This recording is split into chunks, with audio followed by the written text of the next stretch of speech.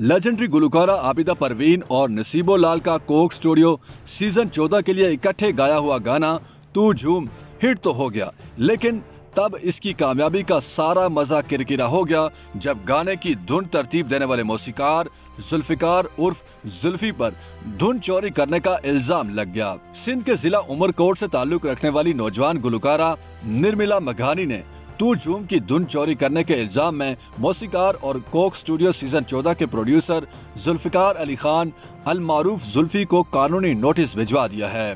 निर्मिला मघानी ने जुल्फी की music production company Giraffe Pakistan को नोटिस भिजवाया है, जो कि कोक स्टूडियो सीज़न 14 की शरीक प्रोडक्शन कंपनी भी है। निर्मिला मघानी की जानब से वकील फराज फहीम सिद्दीकी ने जुल्फी को नोटिस भिजवाते हुए उन्हें जवाब देने का कहा है। सिंधी गुलकारा की जानब से भिजवाए गए नोटिस में मौसीकार को कहा गया है कि अगर वो मुकर मुद्दत में जवाब फराहम करने में नाकाम हो गए तो उनके खिलाफ निर्मला मकानी एक अरब रुपए के हर जाने का दावा दायर करेंगी। गुलकारा की जानब से 24 जनवरी को भिजवाए गए नोटिस में कहा गया है कि निर्मला मकानी ने कोक स्टूडियो सीज़न 14 में काम करने के लिए मौसीकार जुल्फी के साथ रबता किया और उन्हें अपने गाने की धुन व्हाट्सएप पर भेजी। नोटिस में बताया गया है कि निर्मला मघानी ने जुल्फी को 14 जून 2021 को तू मेरा राजा गाने की धुन भेजी, जिसके बाद मौसीकार और गुलकारा के दरमियान कुछ बातचीत भी हुई। मगर फिर कोक स्टूडियो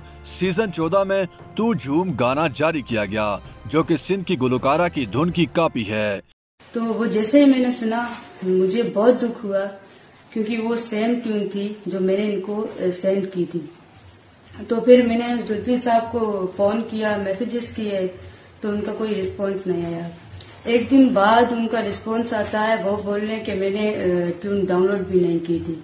और कहा जाता है कि ये हमारी पहले से ट्यून बनी हुई थी।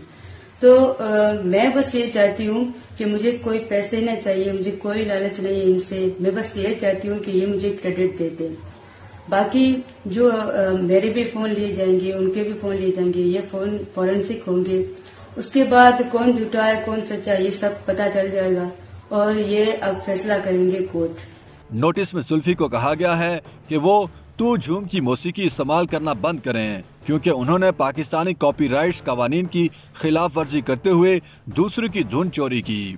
नोटिस के ज़रिए जुल्फी को, जहाँ मौसीकी को इस्तेमाल न करने का मशवरा दिया गया है, वहीं उनसे जवाब भी मांगा गया है। दूसरी सूरत में उनके खिलाफ एक अरब रुपए के हर जाने का दावा दायर करने की धमकी भी दी गई है। उधर जुल्फी की music production company Giraffe Pakistan ने नोटिस मौसूल होने की तस्दीक करते हुए कहा है कि निर्मिला मकानी के नोटिस का कानूनी जायजा लिया जा रहा है। कंपनी ने मुख्तसर बयान में कहा कि जुल्फी के वकला निर्मिला के नोटिस का जायजा लेकर कानूनी हवाले से उसका जवाब देंगे।